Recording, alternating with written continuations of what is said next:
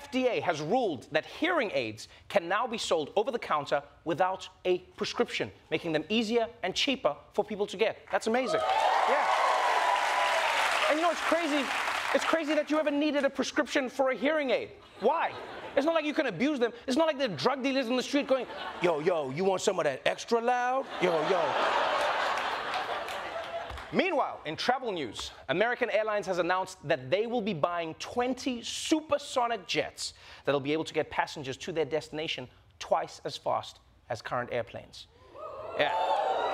And while that's great, it also means the annoying guy who's sitting next to you on the plane is going to have to talk twice as fast now. It's going to be like, so yeah, you fly often, you're going on vacation, is it the work thing? I just had to check a bag. You checking a bag? Where are you from? Yeah, first time flying. Yeah, the plane, seen the Rock and Roll Hall of Fame. It's going to be great. And we're here.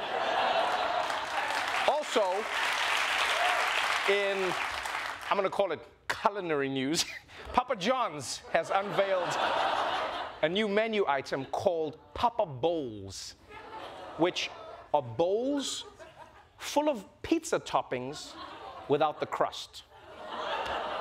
And I just want to say, congratulations, America, you did it. You finally found the opposite of a salad. Well done. Congratulations. But let's move on to some of the biggest stories of the day, starting with the 2022 midterms. Last night, the primary that everyone was watching was in Wyoming, the state with a population almost as big as a New York subway car. Now, the reason everyone was watching this race is because Liz Cheney was running for re election. And of course, Liz Cheney has been the most prominent anti Trump Republican in Congress. She voted to impeach him, she's led the committee investigating him. Basically, she just will not stop talking about that one time he tried to overthrow the American democracy. That was like, like a million years ago, lady. Move on. So, anyway, last night's primary was the chance for Wyoming Republicans to declare whether they stood with Liz Cheney or with Donald Trump.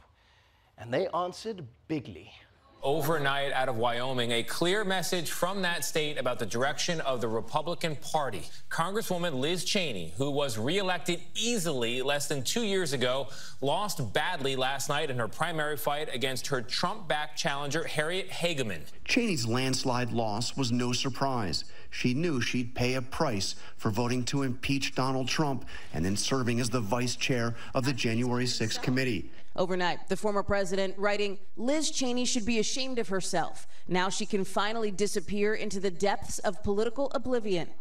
Okay, okay. First of all, there's no way that Trump wrote that. disappear into the depths of political oblivion? Really?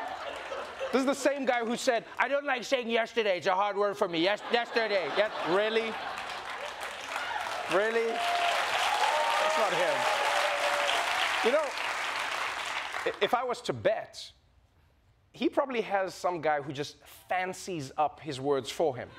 You know, he's like, I want to say something like, Liz Cheney, go bye bye now. The person's like, okay, uh, how about disappear into the depths of political oblivion? He's like, that one is goodly, maybe the bestest. I like it. and look, say what you want. Say what you want about Liz Cheney, but you have to respect how she stood up against Trump, even when she knew she was going to get blown out of her seat. And yes, it is saying something about the state of the GOP that the brave stance was don't hang the vice president, but still, she stood by it. And Liz Cheney isn't the only Republican who fell on her sword. Remember, there were only 10 Republicans in the House who voted to impeach Donald Trump. Out of those 10, four lost their primaries to a Trump challenger, and four retired so that they wouldn't lose to a Trump challenger. Because right now, any Republican who opposes Trump, he'll flush the asses away like one of those top secret documents. He doesn't play games. but the Liz Cheney story isn't over yet because she's vowed that she will still do anything to stop Trump from becoming president again, even possibly running against him in the Republican primary. Yeah. And look, I mean, we must admit, it probably is a long shot. But don't forget, she is a Cheney. If there's one thing they're committed to, it's regime change. and, and to be honest, if she wants to stop Trump, she doesn't have to beat him in a presidential race. You know, just put a bunch of Reese's Pieces in a line off a cliff. You know, he'll be like, and this one, and this one, and this one. But let's move on from Donald Trump to another plague America can't get rid of the coronavirus pandemic. Last week, the CDC announced that, quote, COVID 19 is here to stay. Yes, which sounds less like a public health uh, announcement and more like something your mom says about your new stepdad. I love Jerry, so whether you like it or not, he's the new man of this house, okay? I love Jerry, don't eat that. That's cat food, honey. Come on. now, because of this, and because fewer people are dying or being hospitalized uh, from the disease, uh, the, the US is dropping some of the big restrictions that we've all gotten used to over the last two years. Right? So, uh, no more quarantining if you've been exposed to the virus. Uh, no more testing at schools, uh, no more six feet apart social distancing, and we can go back to washing our hands just after number twos. Yeah. so basically, the new CDC guidance is just looking at what everyone was already doing and just going like, yeah, yeah, just do that. We don't care anymore. We don't care. But if the US has decided to live with COVID, the situation is very different in China because they're still doing lockdowns at the drop of a hat. And it is not always going over very well. Chaos and panic at an IKEA in Shanghai, China. This is video from an IKEA store on Saturday after it was announced the store was going into lockdown. A customer had tested positive, so workers tried to put the entire building on quarantine. Customers rushed for the exit to try and leave before the doors closed.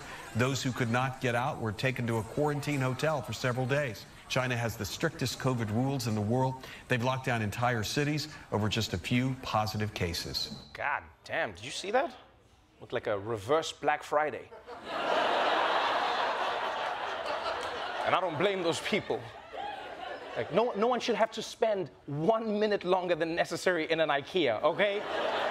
Can you imagine finally finding the exit just as the doors close? You're like, no!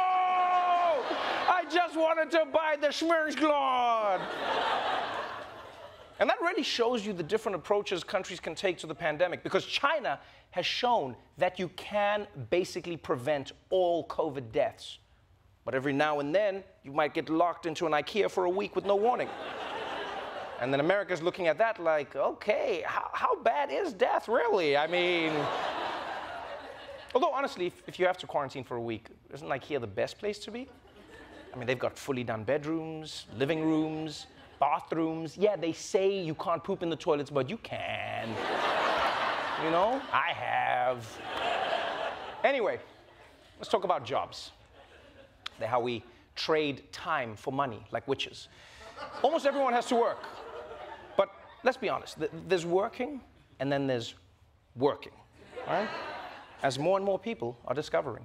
We begin with young workers refusing to go the extra mile. They're embracing a trend they're calling quiet quitting. They stay on the job, they continue to get paid, but they're only willing to do the bare minimum. So you look at these videos uh, on TikTok and YouTube of people who are celebrating their lack of enthusiasm for their job. They're just going to mail it in. They're just going to do exactly what they're supposed to do and not go above and beyond uh, the descriptions of the job. Some of these videos are people who are like literally turning off the phone at 5 p.m., the work phone at 5 p.m., not answering email after 5 p.m., not doing anything above and beyond the 9 to 5 of, of the job, and saying, that's good because I don't need to work for the man, you know, and not have any kind of uh, a balance in my own life.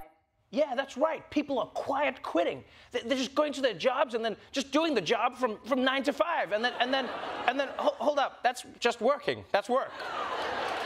You realize that's work. You don't have to do the more, it's work. People in this country are so obsessed with work. Guys, your job is just the place you go to avoid seeing your family, all right? it doesn't need to be the most important part of your existence. If your job is from 9 to 5, that means that the work messages should stop at 5 2. Yeah, that's right. Any message you get after 5 is basically a booty call. If your boss texts you at like 7.45 to see if you filed an expense report, it should start with, hey, you up? Uh, bottom line, you need to establish a work-life balance. So remember, if you hate your job, make sure you also hate your life, right? no, that doesn't work. But if, but if you're thinking of quiet quitting, please keep in mind that clocking out for the day at 5 on the dot might be okay for office work, but it's not something you can do for every job. All right, buddy. All right, don't do anything drastic, okay? We're gonna work this out. We're gonna work this out together, you and me, just as long as you let the hostages. Oh, oh shit, hold on. It's, it's 5 o'clock. All right. Oh man. All right, listen, you guys, uh, you guys stay. You guys gonna stick around? All right, if you guys are back here on Monday, we'll, we'll pick it up at 9 a.m. Oh man, that's crazy. What we do? It? We going to the bar? We gonna do this thing? Yeah. All right, that's it for the headlines. But before we go, let's check in on the traffic with our very own Roy Wood Jr. Everybody. What up, boy? What's going on, Roy? What's up, man? What's going on, Roy? Yeah. It's good. So good to see you. Good to see you, man. Good to see you, brother. what's happening? What's happening? What's happening in the traffic? We don't get the traffic, man. Traffic not going nowhere. It's traffic. That's why it's called traffic. It's always there. I want to I wanna ask you about this IKEA situation, though. The, the, the COVID lockdown? Yeah, the people getting locked up in the store. What, what store would you like to be locked in for two weeks? Like, what would be your COVID oh, lockdown man. store of choice? I would choose. I'd probably choose like a Best Buy or something. I can play video games the whole time. Bro, that's dumb. You ain't got nowhere to sleep. You ain't got nothing to eat in Best Buy. There, a couple movie theater snacks. That ain't no real food. Oh yeah, I didn't think of that. You know what I'm saying? Mercedes-Benz dealership. That's what I'm doing my lockdown. If I want to get trapped in the spot, I want to get trapped in a Mercedes-Benz dealership. But there's no food. They got what? They got the peppermints. When you buy a Mercedes, they give you peppermints. They got plenty of peppermints, and and at the end of the lockdown, you get a free car, free Mercedes. No, no. Why, why the hell would you get a free car? That- but after they see what I do to that car for two weeks, they don't give me that car.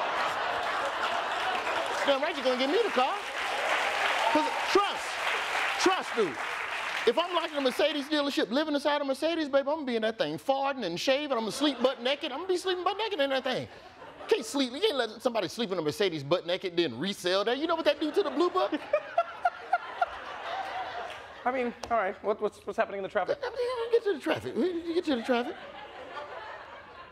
Did, did I hear you correctly in saying that American Airlines is buying 20 new jets? Yeah, supersonic jet. They just put some money down on new jets. Yes. New jet. Yes, brand new. I thought the airlines, they, they, they broke. They've been crying broke for a long time. The airline industry is broke. That's what they keep telling us. I'm broke. Hey, man, I want to carry your luggage, but I need $50. Hey, I sure would love to give you some snacks, but I need $50. Oh, man, you want some leg room? Well, I'm going to need $50. We've been giving the airline industry all these 50 damn dollars, and now you just went and put down on a new jet, bitch. No, you can't do that. You know, you know, this is like this is like when you loan your friend fifty dollars, and then you be on the Instagram and they be on vacation in Jamaica and they zip line and they parasailing and you need to zip line me my damn fifty dollars is what your ass needs to do. You can't, you cannot cry broke. I agree. Oh, we broke. Oh, we broke. Here, let me get 20 of them new jets. Bitch, you know you can't get 20 new jets. And plus, we don't care. We just want to get there. We don't care whether or not they say what you want about Greyhound, but they understand that nobody cares. Greyhound ain't bought a new bus ever. The Greyhound you ride in right now, that's the same Greyhound that Harriet Tubman was taking the slaves up north on. It's the same bus. Oh man. Oh Roy, you're ridiculous. All right, let's uh, let's jump into the traffic, man.